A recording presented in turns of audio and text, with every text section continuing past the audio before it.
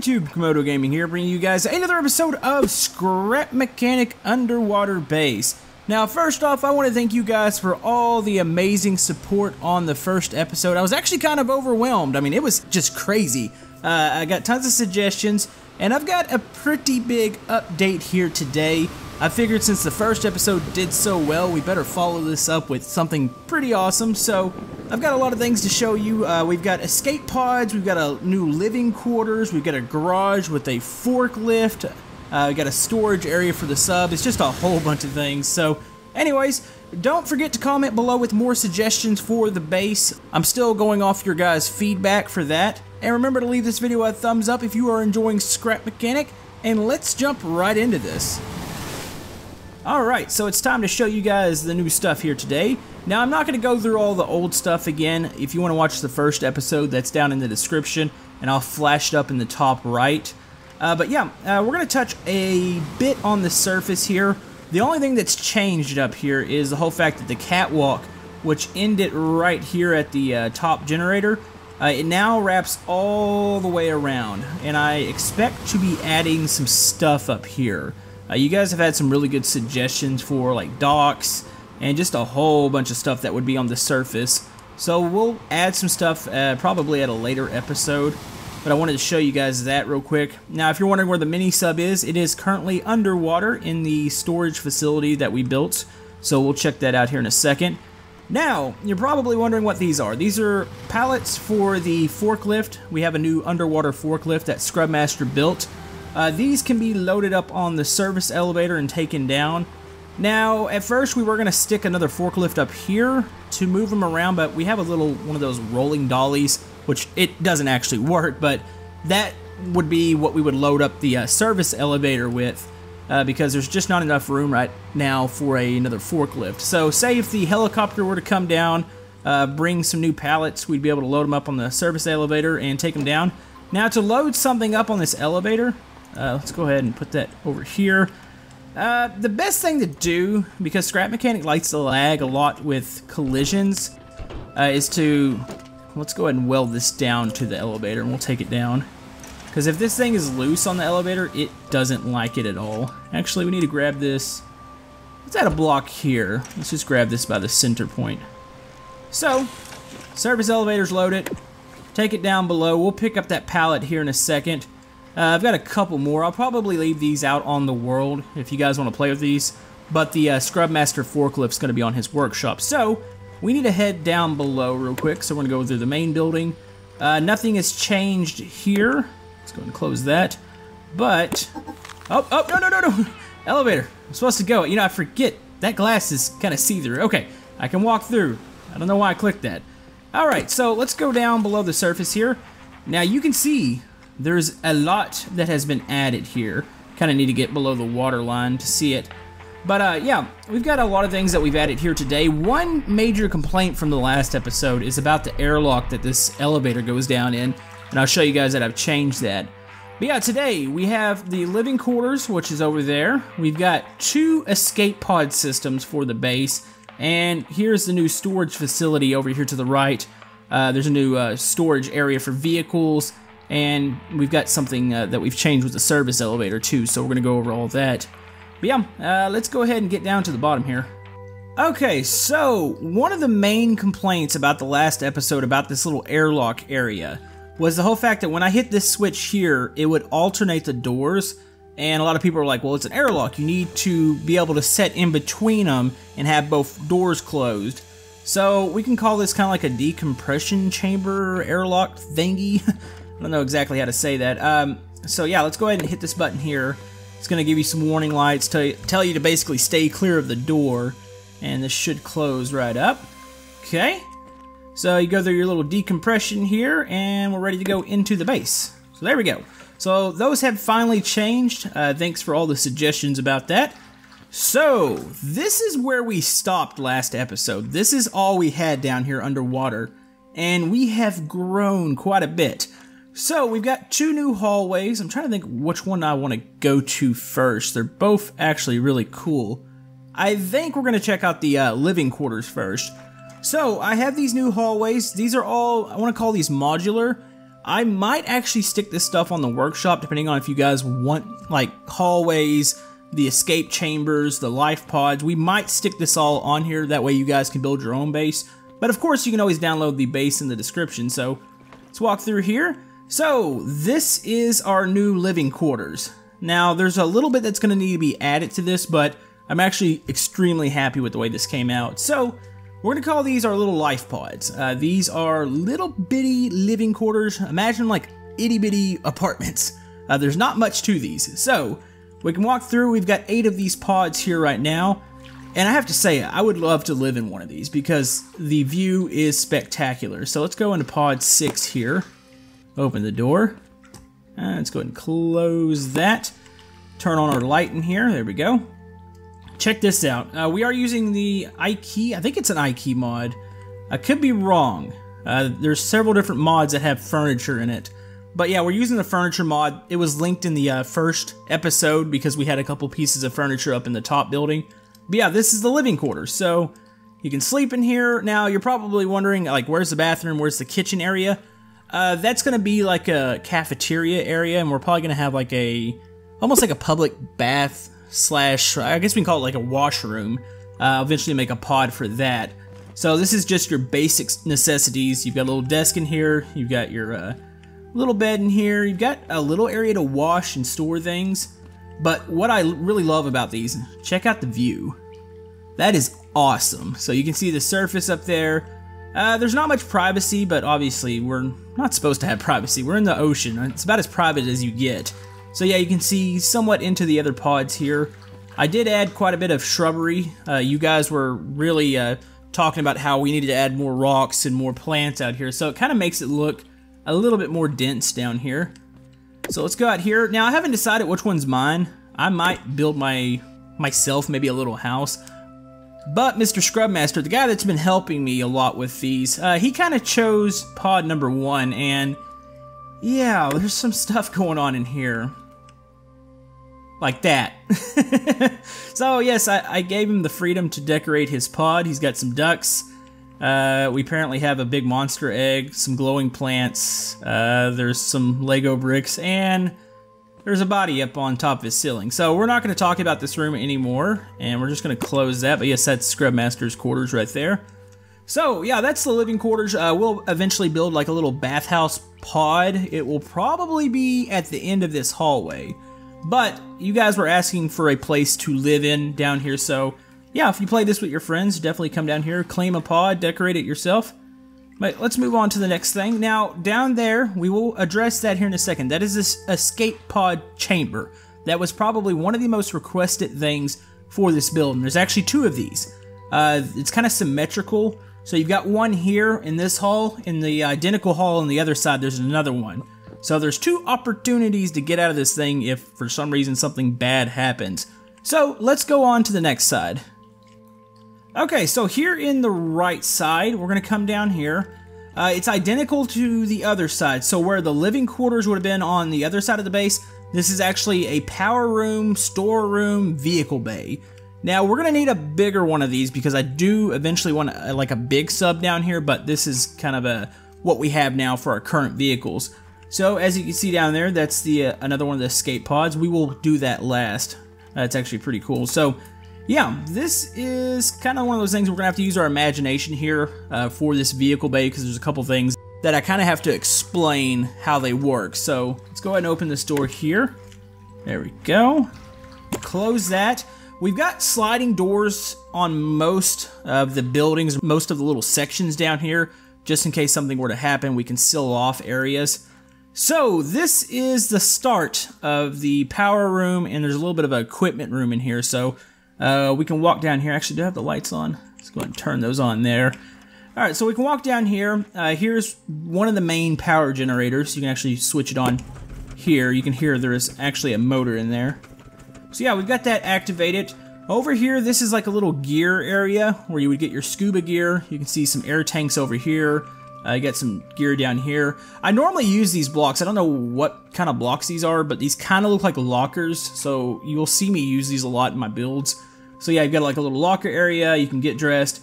and prepare to go out in the airlock. So the main vehicle bay, this kind of works in a weird way, and I have to explain this. So we're gonna go into here. This is the airlock, so you're gonna wanna lock yourself right here. So you can see there's tanks on the side. Now, this is gonna work in two ways. In order to get these vehicles out, we're gonna need to flood the room in here. So We'll do that by hitting this button here. Of course, this is all imaginary. We're not going to actually flood it with water. That would be amazing, but it's not going to happen. So, gonna hit that. It's going to set the alarms off, let you know that the room is flooding ahead. Of course, if you're coming out, you want to drain the room. So, we're doing that. Um, I need to probably put it on like a timer or something, so let's go and shut that off and say this thing's flooded here, this room would flood up here, and then the doors would open.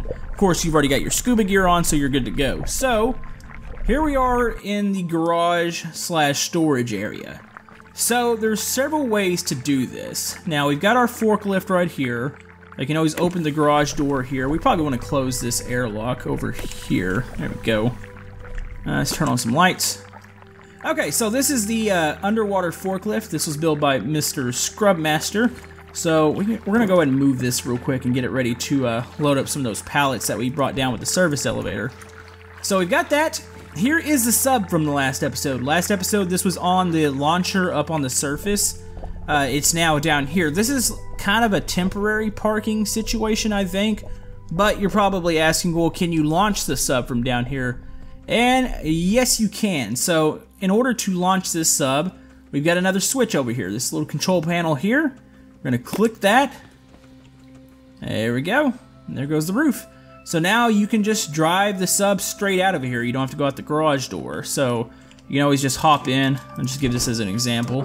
Let's go and hop into the sub. Let's hit the top latch here. There we go. Climb down into it. Boom. Close it. And we're here.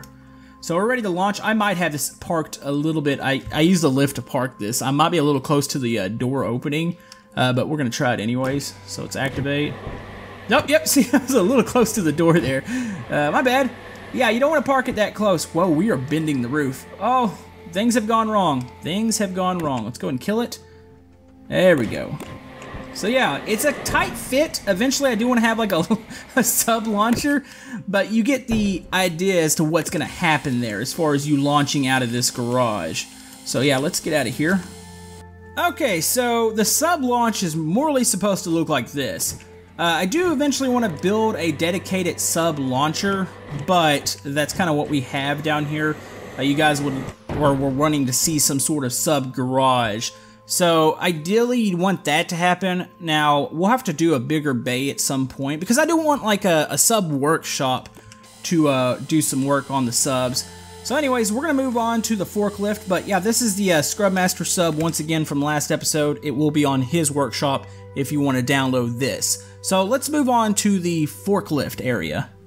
Alright, so we are ready to do a little bit of work down here. Now, the garage door is open and ready to load up some supplies in. Of course, at the beginning of this episode, we used the service elevator to take some supplies down here, so we need a way to load it up in the garage.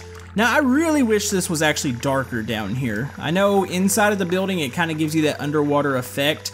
Uh, down here, not so much. So that's one thing, I don't really know how to change that to really make it darker. Uh, so let's go ahead, we're going to go into here. Got our service elevator ready to go. It's down at the bottom. We've got our pallet down here, so we're going to go ahead and slide our forks there. A little further. I love forklifts. Everything's really awesome since we got these pistons. So we're going to do that. Let's hit the 2 key. It's going to tip these back. We should be able to just slide right back with this here. There we go. Gotta be kind of careful sometimes with forklifts and pallets, and I really have my lift in the way. There we go. So yeah, if you need to lift this, you can of course hit the one key, it'll lift it up higher. Uh, I don't really have too many high shelves at the moment. Uh, we have a little bit of a lower shelf in here, so we're gonna go in. Gotta be careful with this, don't wanna hit the gas, don't wanna get on and off the gas too much with this thing. Uh, so we're gonna drive around here, we've got our little ramp that's gonna take us back into the garage. So let's go ahead, kind of turn. It's got a little bit of a wide turning radius. Initially this was tried with a uh, suspension glitch, and it just flipped out. It did not like the uh, the whole setup down here, especially once you got on these uh, tile blocks uh, for the floor. The suspension glitch just basically didn't even work anymore. So, let me get the camera down here, that way I can see what I'm doing. Uh, you're to turn here. We've got a shelf over here that you can load off of. So, oh, oh, oh, don't tip, don't tip. We're good. We're good. Okay, so we're to get about right in this area. Let's back off just a bit. We are tipping. It's not good. Let's go ahead and lower the forks here. And this one has a piston that you can push the uh, the pallet off, so we're to push that on the shelf. That was a bit messy. Uh, I'm not the best forklift operator. Maybe we can get Moonbo down here since he's a professional forklift operator and maybe he can unload some pallets for us. So yeah, you've got that. You've got a parking spot over here. I know initially we had the sub over here, but you can also park your uh, forklift out of the way and hit the, uh, actually you can just hop out of this. The 3 key, or the 4 key actually opens the glass up there. So we've got our new supplies loaded in. We probably need to change those pallets from wood because I imagine underwater, the wood would be completely soaked, and a lot of this stuff would be strapped down. I know some people question the service elevator, the whole fact that it was it just goes straight underwater. Uh, a lot of this would have to be strapped down in order to get it there. So, anyways, we've got this loaded up. We've got our, some new supplies in here. Uh, once we're ready to go, we can get somebody that's in the control room to drain this room and drain the airlock. We'd come right back in, do what we need to do. If we need to get some supplies through here, we can have, of course, both of these open. This would be kind of one of those things I wouldn't want to operate this because uh, accidentally hitting the wrong button and letting water rush into the base, that would be pretty bad. So yeah, we've got it drained now, so we'd be able to load the uh, new supplies and get them into the residents of the underwater base. So yeah, that's the new storage area down here. I think it came out really nice. I love the overhead glass, the whole fact that you can see up to the surface, and just the way the glass forms in this whole building here. So let's go ahead and close everything up. We are done in this area. There we go. I think it's time to go over a bit of an emergency drill here and what would happen if something really bad were to happen to the base. So, let's go do that. Okay, so say something terrible is happening to the base. The alarm is sounding, we need to get out of here. Of course, maybe we can't make it to the service elevator. Maybe something happened to it. Well, the thing you guys wanted to see the most here was some sort of escape pod. So we've got those here today. So you get two options to make it out alive. You can go to the right one or to the left. These are going to be somewhat centralized, so you might be able to get to one of these before you die. Of course, we could try to lock off some of the cabins, say wherever the breach is. Uh, we would have to lock off those with the doors, but if it's a breach, say in this main area, you're going to need to get to the escape pod. So we're going to run over here. Uh, we got blast doors here. You want to hit the blast door on the escape pod. Hopefully, you know, everybody's in here. We can close the door. That way everybody's safe. And we're going to launch the escape pod. So we have the pod here. We're going to open the door right over here. It's a, kind of a tight fit, and you can climb in. Now, on this map, if you want to, you can keep these things loose. I have them welded down at the moment to prevent lag, but eh, you're going to need to break this weld right here. So now we have a loose escape pod. So, what you're going to need to do, get your crew in and get ready to launch. You're going to hit this switch here on the right. It's going to give you a time delay. Say it's going to fill the room up with water. That way you're not trying to open the top door because of course the pressure wouldn't allow you to. So it's going to fill up with water. You're going to be able to blast up the open the top doors and you'll be able to turn on the, uh, the escape pod here and get out. So we're ready to go. We're going to get in position here. Let's go ahead and hit that. We're going to want to close the pod. Red seat is the captain's chair. You've got a little light in here. There's your lights. And you're ready to launch with the 3 key. Now, you see the uh, doors just burst open at the top. Of course, by now we would have launched. But for the sake of the video, I just wanted to show you the doors opening there. All you've got to do is hit the 3 key. The ignition's going to start and it's on a timer, so it will release itself. So let's go and do that. There we go. And we are escaping the base. You're gonna blast out the top here. Ignition shuts off. Ideally, you'd have a parachute and you would float gently down to the water here and be ready to be rescued. Instead, no, we just came crashing back down and died. But that's how that works. Now, if we had water physics, that would be amazing. I'm sorry. I would love to see that happen, but I don't know if that's ever going to happen in Scrap Mechanic. That's why we're kind of playing pretend with the base here. So, Here's a little bit closer inspection of the pod. You can open it up here. It's got a little fire extinguisher, say something bad were to happen. Course, you see it lit up. And once you're floating on the surface, uh, you can always get out the top hatch here. Twist that open, climb out, set on top.